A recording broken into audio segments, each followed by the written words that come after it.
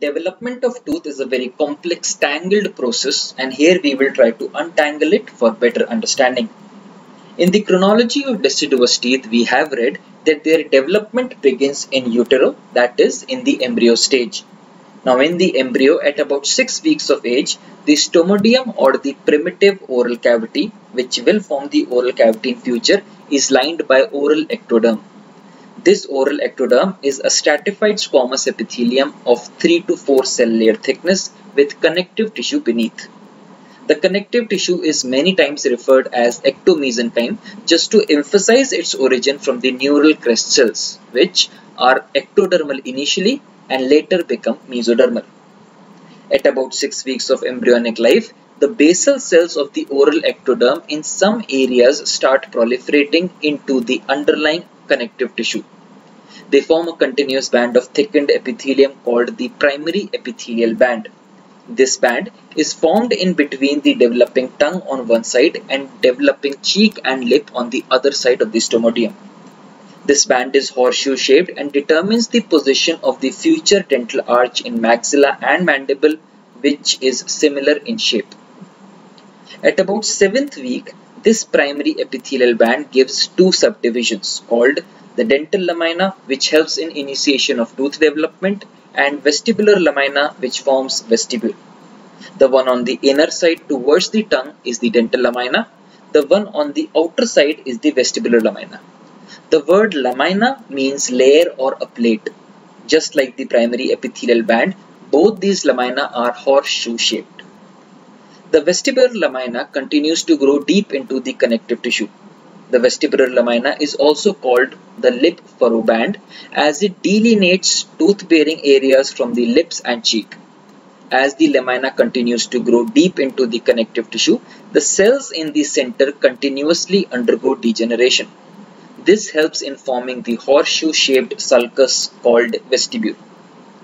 Coming to our lamina of concern, the dental lamina, like vestibular lamina, it is also a horseshoe-shaped plate. The dental lamina shows increased cell multiplication in some areas and forms a localized thickening or placodes called the enamel organ. Dental lamina is the structure which gives rise to all the deciduous teeth. During the later part of development, as the jaw grows posteriorly, the dental lamina gives a distal extension from which the three permanent molars develop gradually. The development of first molar is initiated at fourth month of fetal age, second molar at first year after birth and third molar at 5 years of age. From the dental lamina in areas of deciduous teeth development, a lingual extension develops which is called as the successional lamina. This successional lamina gives rise to the development of the succedaneous teeth, that is, permanent incisors, permanent canines and permanent premolars. The development of succedaneous teeth begins between 5th month of fetal age to 10th month of age after birth.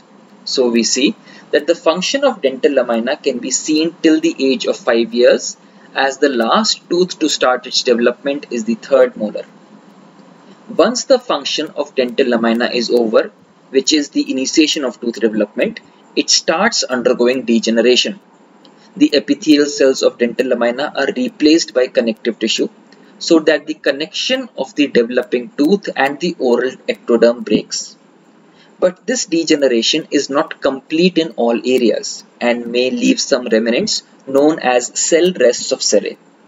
These remnants of the dental lamina may be present in alveolar bone or gingiva. These rests are dormant and have no function, though they may lead to pathologies like tumors or cysts later in life. The placodes on the dental lamina called the enamel organ are so named as it gives rise to the enamel of the tooth. The ectomesenchyme just beneath the enamel organ is called dental papilla. It gives rise to dentine and pulp. The ectomesenchyme around the enamel organ and dental papilla is called dental sac or dental follicle, which gives rise to cementum, periodontal ligament and alveolar bone. All these structures together enamel organ, dental papilla and dental sac form the tooth germ. A tooth germ passes through similar stages of tooth de development be it any tooth in the jaw. for better understanding, the tooth development has been divided into stages depending on the morphology of the enamel organ as it undergoes changes during the development. Hence, these are called as the morphological stages of tooth development.